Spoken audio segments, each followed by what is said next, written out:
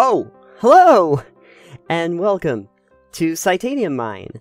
I was just singing about surviving. It, it's lonely down here. I'm surviving in the mine. You see, also, just random thought.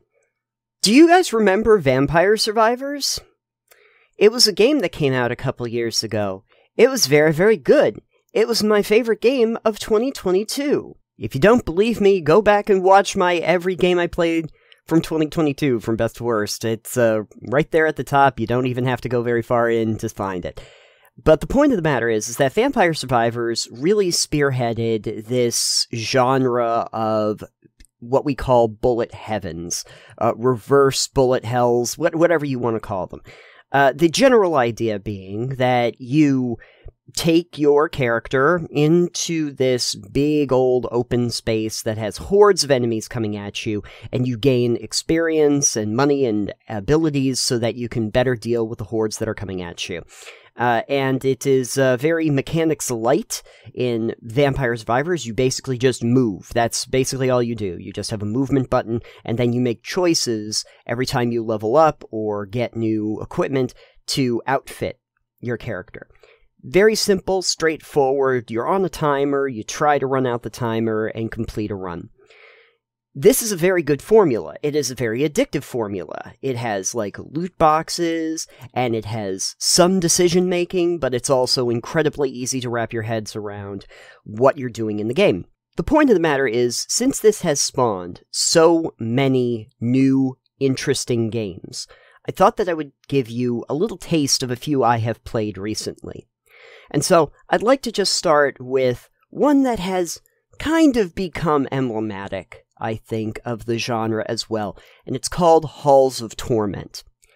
So, Halls of Torment is basically if you took Vampire Survivors, but you said, I'd like it to look and feel a lot more like Diablo 2. That's pretty much it. Uh, you start with a selection screen for your heroes. Uh, your heroes will kind of feel like Diablo 2 characters. You've got your warrior, you've got your ranger, you've got like a sorcerer. It's going to feel familiar if you're familiar with the Diablo series, but it definitely looks like a Diablo 2, or maybe even a Diablo 1. But it is in that pixel graphic style. It's in like that pseudo 2.5D plane perspective, and it basically tasks you with going into these different planes of existence, these levels of hell, whatever you want to think of them as, and shooting a bunch of characters that are coming at you. And they are kind of demonic by nature. I think it's really important to understand that with every single one of these, the thematic part about it is going to be pretty much superficial. It's really about how they play, but I do appreciate it when a game can really bring about the idea, the the atmosphere of what they're trying to do. And I think Halls of Torment does a pretty good job at that.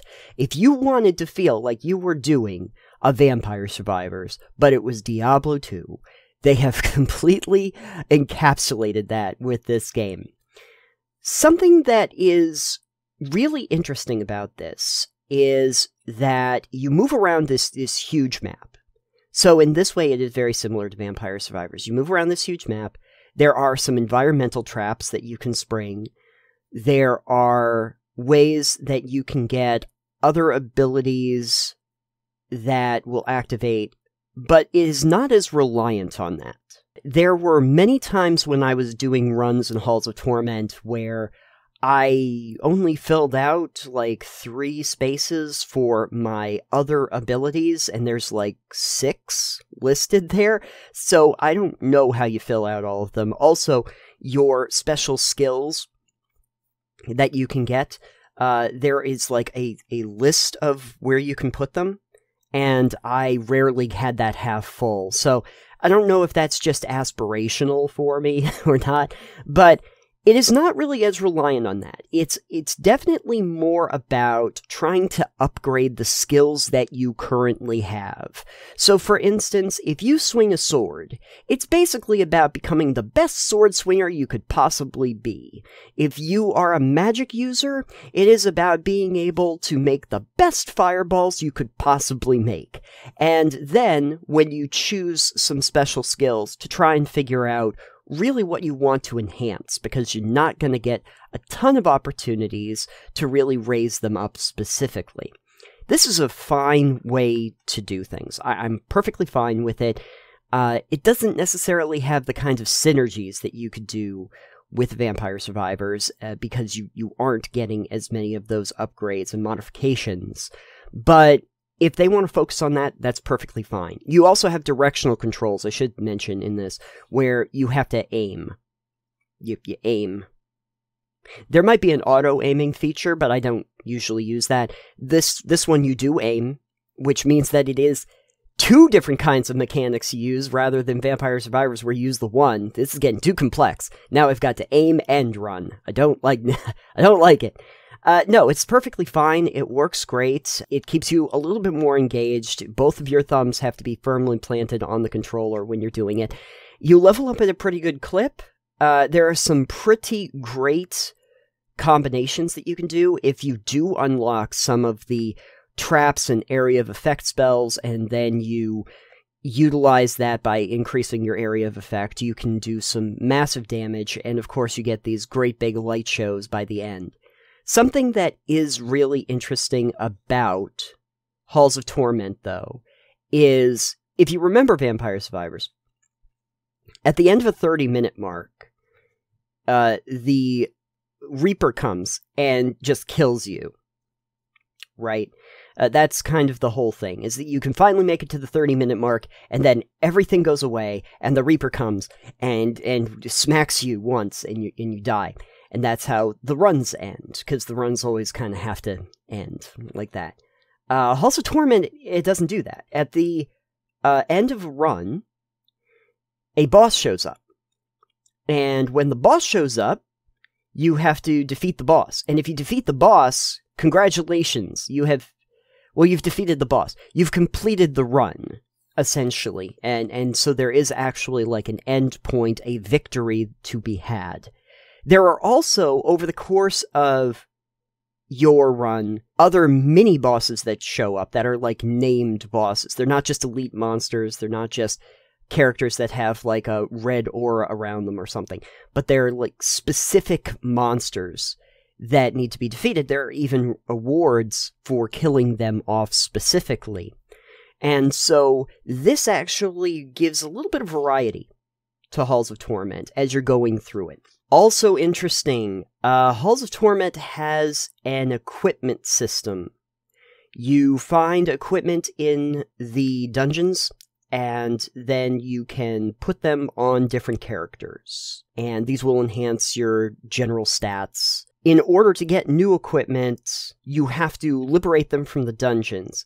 This is something I wasn't as fond of, honestly, because you'll pick up a bunch of different things. Sometimes, you know, four or five different uh, objects boots and hats and gloves. But it will only really let you bring one back. You have to travel back to the well that's at like the beginning of the area, and you have to pick one of those items to ship on up. Uh, and then after you shipped it up, you still have to buy it with coins from the vendor. It's in similar fashion. It's how you upgrade the potions because you can get potion upgrades. You can send those up.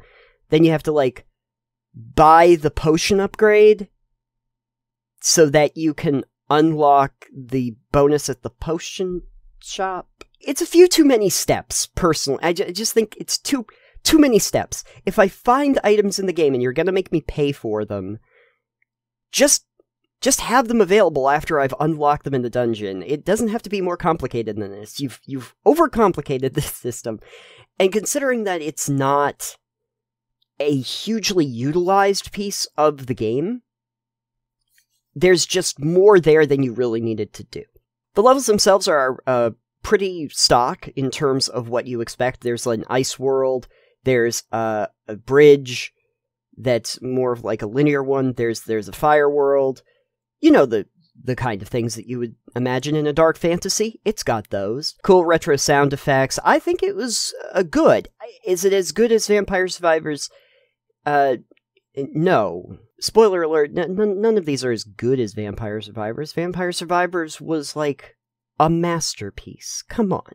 In its simplicity, it was a masterpiece. But that isn't to say that you shouldn't play Halls of Torment. I especially think that if you like the idea of feeling like you're playing Diablo 2, but with Vampire Survivors mechanics, you're gonna really dig this. And it does a few really interesting things with the formula, like the equipment system and the environmental traps and being able to lay those down. I think that it's it's uh, interesting enough, and you should try it out. You get some really interesting character classes uh, over the course of the game too, and you'll start to find certain ones that you like more than others. There's like a hub world that you get to like explore around at a camp. Uh, you know, some some neat stuff there. Brotato is a whole different kind of game, it feels like. Uh, first of all, the style. Uh, Brotato looks like Alien Hominid. It's got this cartoony, like, drawn on the back of a napkin kind of comic panel style, where it's like the really heavy black lines around everything. And it looks good, actually. I, I thought that it looked good.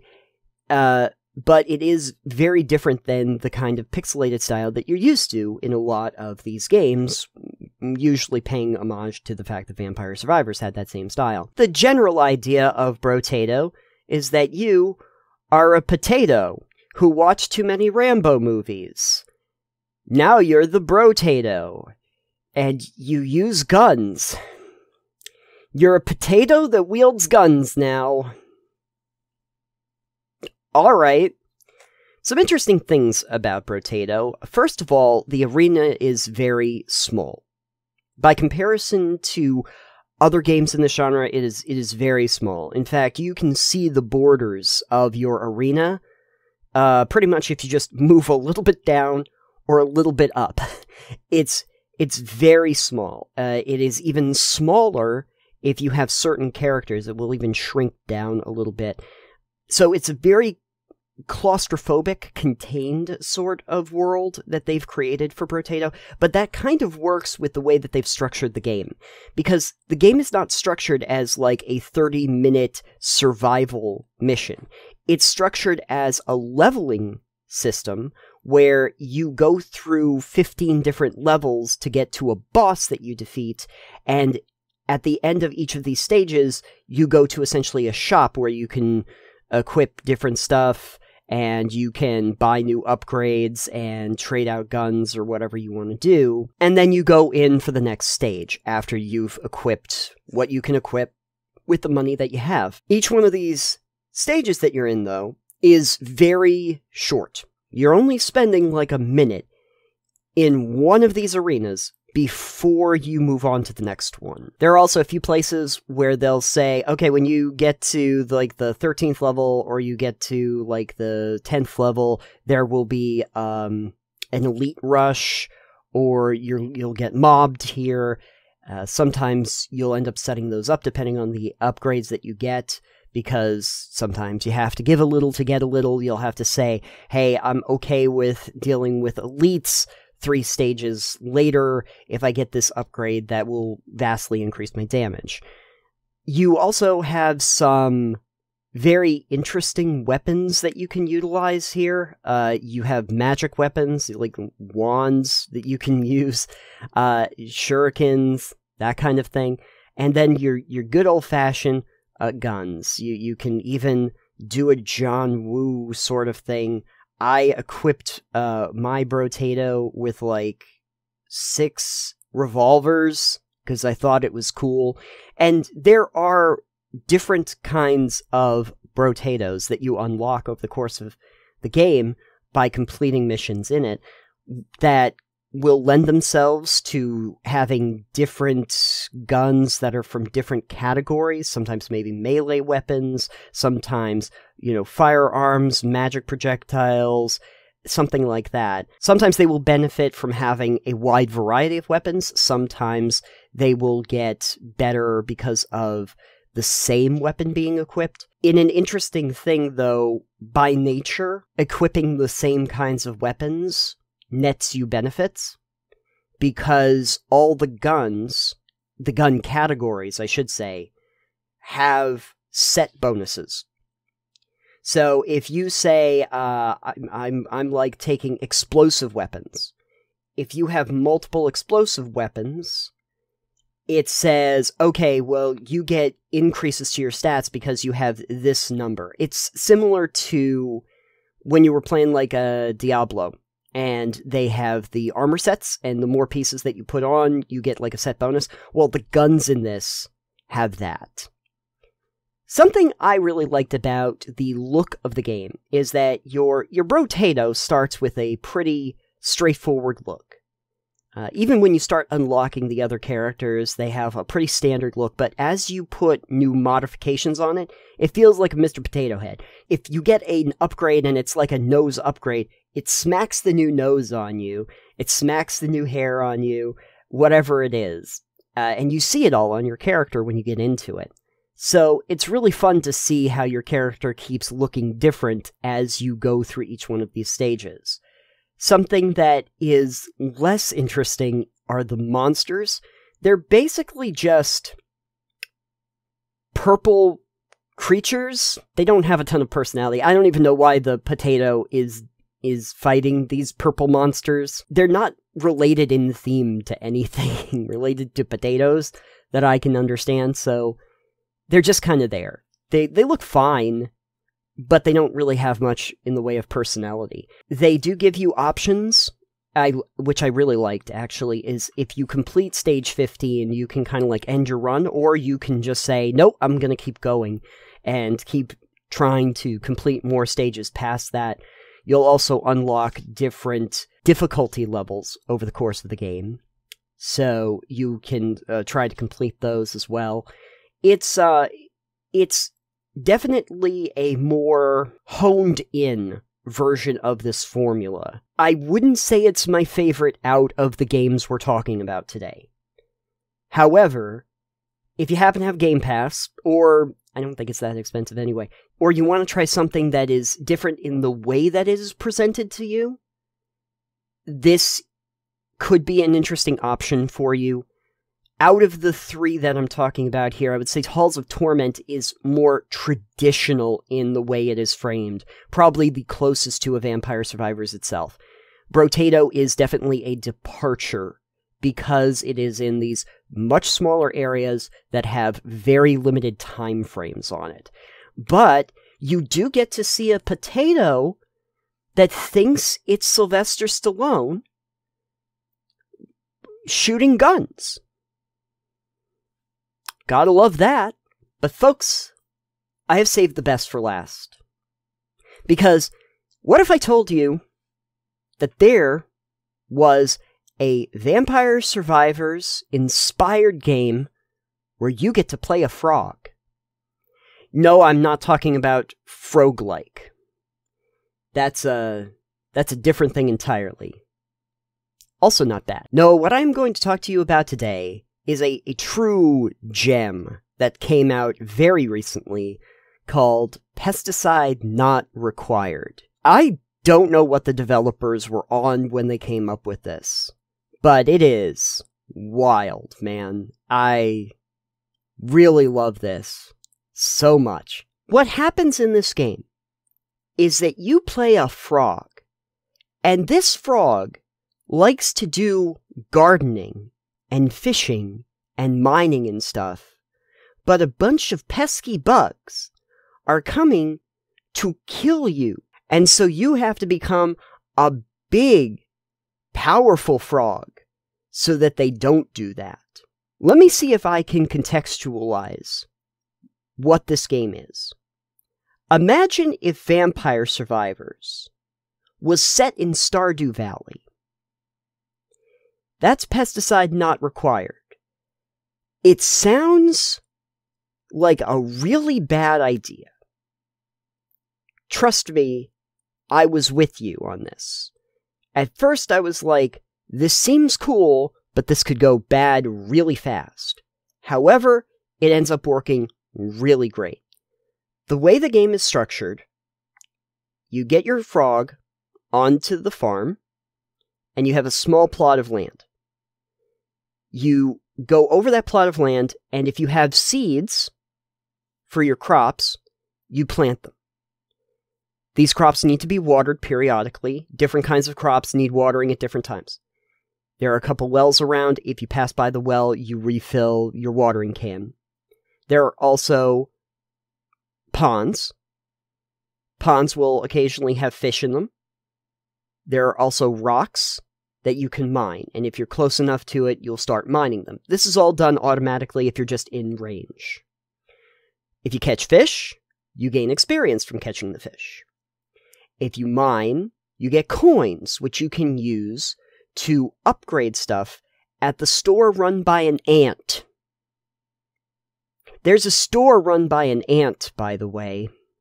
Harvesting crops will also allow you to gain experience so that you can level up. And leveling up in this is basically getting a few different options available to you so that you can decide how you want to enhance your character. But I know what you're probably thinking at this point.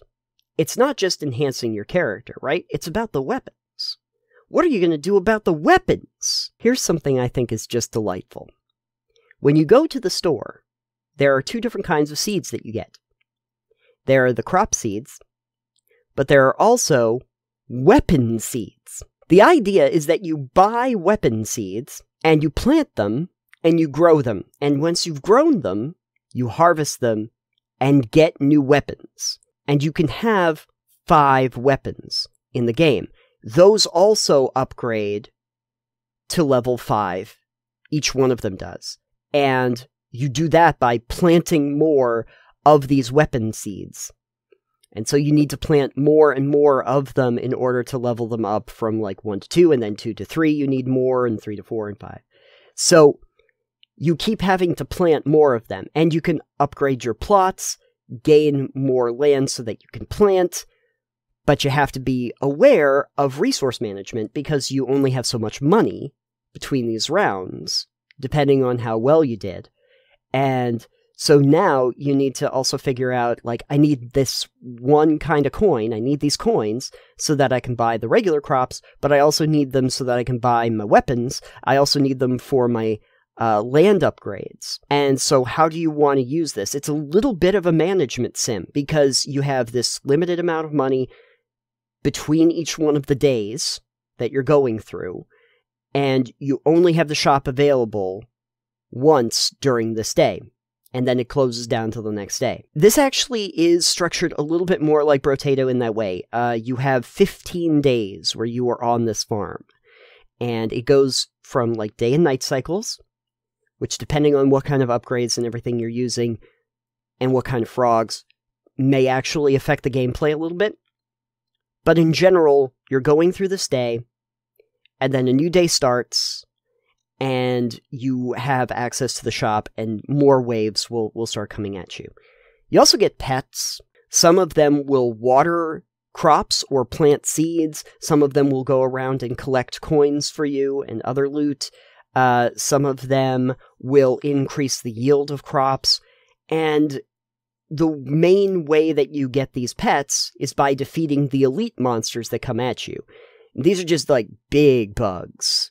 And the big bugs come and just won't stop coming, and you've got to chip away at their health until they die, and then they leave a chest, and you open the chest, and you get two options. The farm that you are on is not huge. It is pretty easy to traverse from one side to the other, but it's big enough that you have to really think about whether you want to go around it.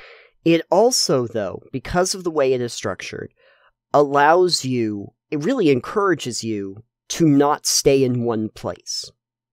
Because you've got a pond over here and you've got a pond over here and you have rocks to mine in these different areas and you have trees that that give you healing apples and everything and they're scattered throughout the map. So you've got to move around a little bit and really check on different areas of the map this encourages you to move around a bit and also gives you some management skills that you have to implement which is definitely more than what you usually do in these kind of bullet heaven games. Uh, you need to really go around the map and, and do things. I need to plant crops, I need to fish for stuff, I need to mine for stuff, you know. I have to do these different tasks, It's very easy to do because it automatically does it when you get near them, but you do have to move a bit in order to make that happen. Everything about this game is themed around basically uh, destroying bugs and maintaining your farm over the course of seasons because you unlock different seasons and different difficulty levels for each one of those seasons. And the the question that never really gets answered is why you're a frog. I I don't know why you're a frog on this farm.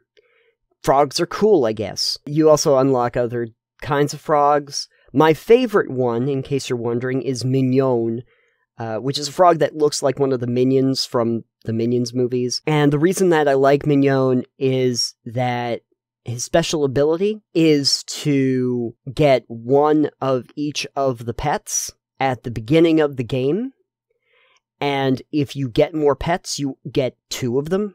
So you basically, it's just pet heavy. But what I liked about it was that those pets, because they can do other tasks for you, like planting and watering and collecting loot, really does free you up if you can't get back to the farm because there's a bunch of bugs in your way. But I think I have completed a run with basically every one of the frogs, and they play very differently. I think that that's also worth noting, and this is true for all the games that I'm talking about here, is that because you choose different characters, similar to in Vampire Survivors where you do that, you realize that they play very differently because of the skills that they have. James Pond is uh, a character in this that has a special shield that will shield him from damage when he takes one hit. So he, he gets he gets a freebie at the beginning of every day. He gets that, but the problem that he has is that he's got like negative a thousand hit points. So if you get through that shield, you're basically a glass cannon after that. So now you have to start really thinking about how you want to build your character based on that. Uh, some characters will have negatives to certain skill gains and positives to others. So you have to start thinking like, okay, I don't want to obviously take bonuses to my attack frequency if I have a 100% decrease in changes to attack frequency with my character. But if I have uh, a plus 100 to attack size, well, then I want to make sure to prioritize that instead each one of these characters really does start to play differently, even in how you are approaching the game, because some of them will prioritize growing crops and gaining abilities from that. Some of them will actually not get anything for crops and will instead really focus on something like fishing. So you want to start getting more fish and more nodes coming up as fast as you possibly can and more bonuses to it. You can do some pretty great combinations in this uh, to the point where if you just start increasing your size and your frequency and you start focusing on things like that, you get these just giant waves of these scythes and sprinklers that are just going out in all directions. Oh yeah, the the weapons are also themed around the garden. You can have lawn mowers, you can have hay bales that you shoot out. There's lawnmower blades that can cir- circle around you. Great stuff. Just excellent stuff. If I were to make criticisms of the game, uh, it is that I would have liked to see the game have the ability to continue past the 15th day. The other thing that's interesting is that at the end of the 15th day, there are no boss monsters, like actual boss monsters that come. At the end of the 15th day, your time runs out and you've completed your run. There's no boss there. So that would have been kind of cool, at least for a capper to say like, "Oh, I I beat this boss at the end of it." An endless mode, yeah, I would have really liked to see that. Uh, to see how far you can get. You know, how many levels can you complete? Some something like that. That would be fun. Maybe some modifications. Maybe it's not that I'm just in winter. Maybe there's a sleet storm mode, and like there's there's frosty enemies that come at me, and and maybe they're slower but they hit harder. You know, just some things like that. Uh, of course, these are just suggestions about things I'd like to see in the game. But in general, if I were to make a complaint about it, I think I think that the lack of a boss uh, which is something that you saw in Halls of Torment, would be useful. Um, but also, if they had something like the endless mode that I saw in Brotato, that would be that would be really cool too. Uh, if they could borrow anything, those would be what I'd uh, I'd like to see. Also, even though I like that you can move around the map, and that the game encourages you to do that for the pawns and for the rock nodes and stuff, I should say that they're not really all that far away from your farm. And I would have actually been okay, maybe as like another mode or like a modification if they spread them out even further so that it was more of a challenge to get to them. I think that that would be an interesting thing. Uh, but again, the game came out just like a month ago, and who knows if they're going to add stuff to it. But if they did, I would kind of be interested to see what would happen with more days available where you could choose maybe the number of days that you have for the intensity. That would be kind of cool. Uh, and maybe have larger farms where these um, mining and fishing nodes were, were further away, uh, or maybe the trees for the picking apples, maybe those were further away. That would be interesting. Also, the upgrade system. So, the upgrade system for permanent upgrades is done with these purple gems, and you get them by completing challenges. You get a handful of them for completing days. And you can use these to do permanent upgrades. You can also use them to upgrade uh, your house. And this is all cosmetic. Uh, and the garden and everything. There's really just nothing to do with the backyard and the the the house. You can go into the backyard and check out the cool backyard you made, but it doesn't really serve a purpose. Like you you don't upgrade even like the ability to like put stuff in the pond or put stuff on the the crop spaces like hey crops that i unlocked you know maybe you could showcase those maybe i could see the fish in the ponds and stuff like that you know they created this big backyard that you can upgrade and they just it's just kind of there you can just wander around it. Uh, same thing for the actual house itself you can put down new cosmetic upgrades but it's just it's it's there for show.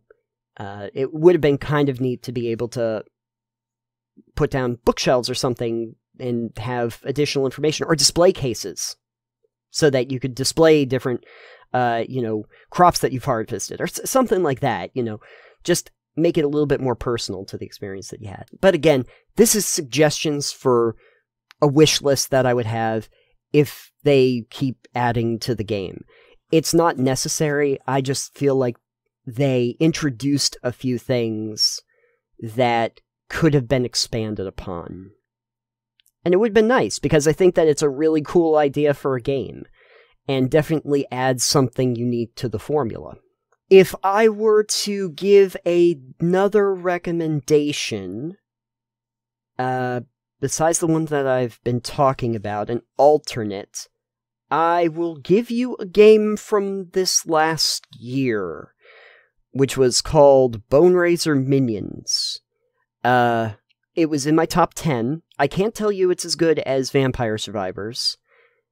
It has kind of more of an Atari 2600 vibe in terms of the look.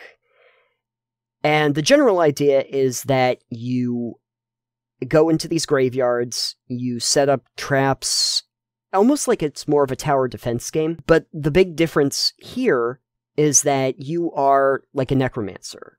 Always great. And as a necromancer, what you need to do is you need to raise the dead, and then the dead go and fight for you. And that's kind of how the auto battling system works.